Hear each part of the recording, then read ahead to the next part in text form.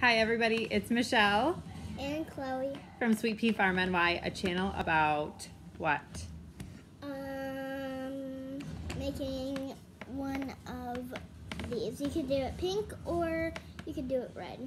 So, our channel is in general about um, raising sheep and all sorts of other livestock and vegetables on our farm in upstate New York. And we also do a lot of crafting. Chloe and I particularly like to craft quite a bit, right? And at school, I craft at school too. Yeah, crafting all the time. So um, I'm working on a Valentine's Day wreath for um, decoration for the booth I have at the State Street Market, and I wanted to um, share with you guys. I made a bunch of these little felt hearts that I'm going to put on the wreath and all different pinks and reds. And I thought you were gonna make that a garland. Yeah, I changed my mind. And then I started making these easy little um, simple felt roses that I wanted to like add clusters on the wreath as well. So today we're going to show you how to make the little felt roses. The other day we shot a video um, that I will link about felting the hearts and today we're going to show you how to make the roses. So all you need is some um, inexpensive craft felt. You can get it for like 23 cents a sheet at uh, You can make a love Walmart bug or- with these. yeah, you can. Um, you could attach the roses to anything, hair clips, pins. Um, I'm gonna put mine on a wreath, but you could do it to, you know, whatever, just like the felted roses we did the other day. So all you need is um, a pair of scissors, some craft felt. Um, one piece of craft felt will make about four roses, maybe five. And um, let's get started. And you need these. Wait, one. So um, you're basically going to cut your craft felt into um, some circles. These are some rough cuts because the scissors I started with initially were pretty rough, but it doesn't have to be perfect because this is just going to be the edge of the rose. And you can see I already made one out of that and like the different details kind of makes it look cool. The fact that it is um, three-dimensional. We're not playing with scissors, right? Yeah. Um, so you're going to start cutting your circle, right? Mhm. I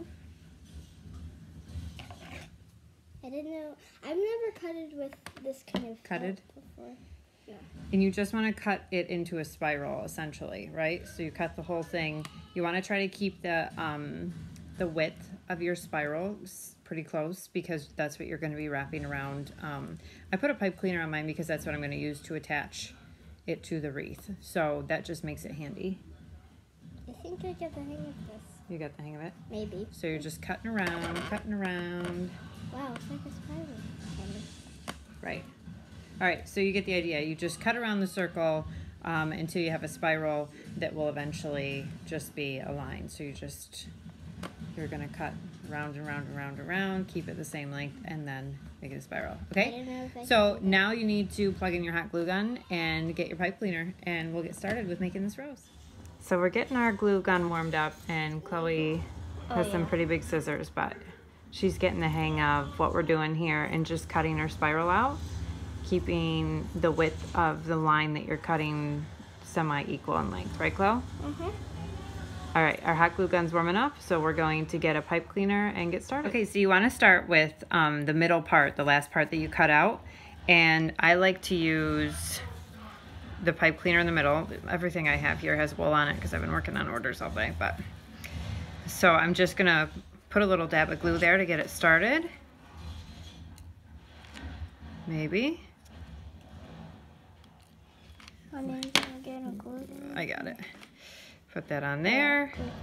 And then you start rolling and I kind of want to oh hot that's why they call it hot glue I kind of want to make a nice little shape But mom, don't you want to tell them how you wrap it around and it stays? Like I don't get why. yeah you wrap it around kind of tightly and every once in a while you just add a little dot of hot glue this is nothing difficult nothing high speed I definitely am all about these crafts that are easy peasy fun Lemon Squeezy. lemon squeezy that Chloe and I can do together.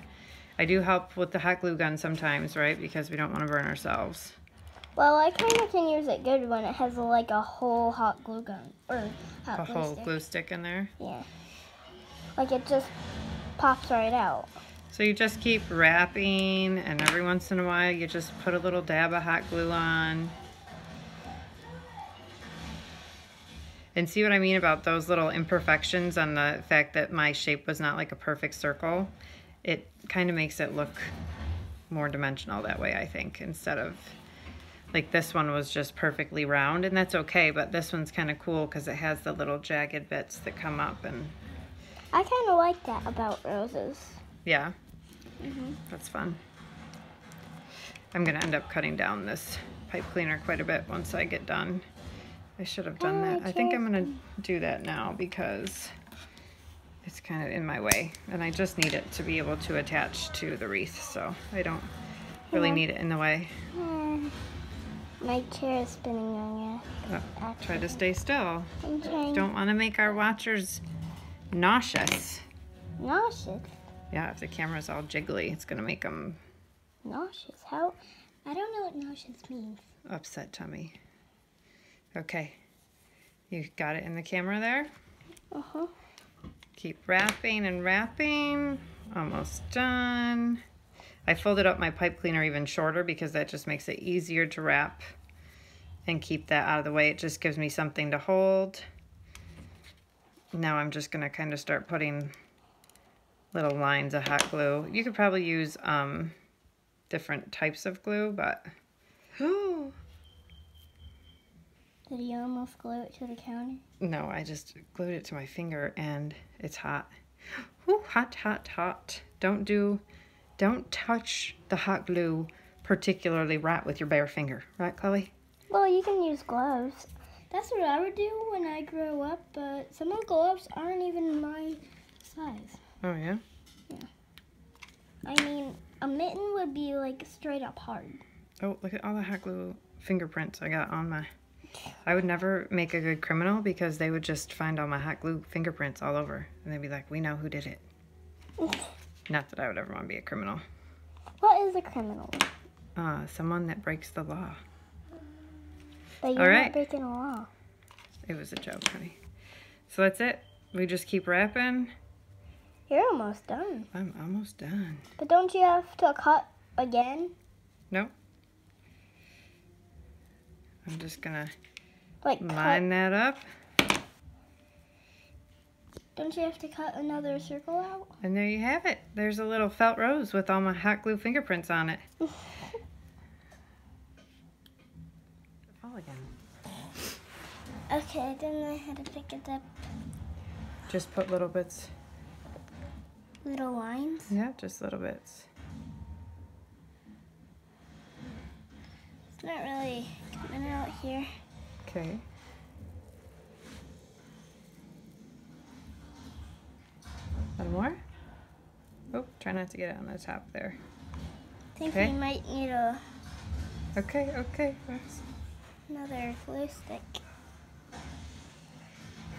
Just use little bits and we should get through. Good job. I Hold think on. mine is doing pretty well. I'm only doing the hot glue part so you don't burn yourself. Put it on this. Put it on this part for me. Yeah. Perfecto. It's really warming my hands up.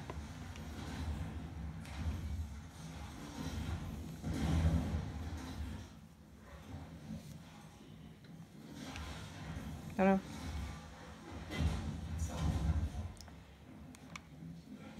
Did I just burn you? Not yet.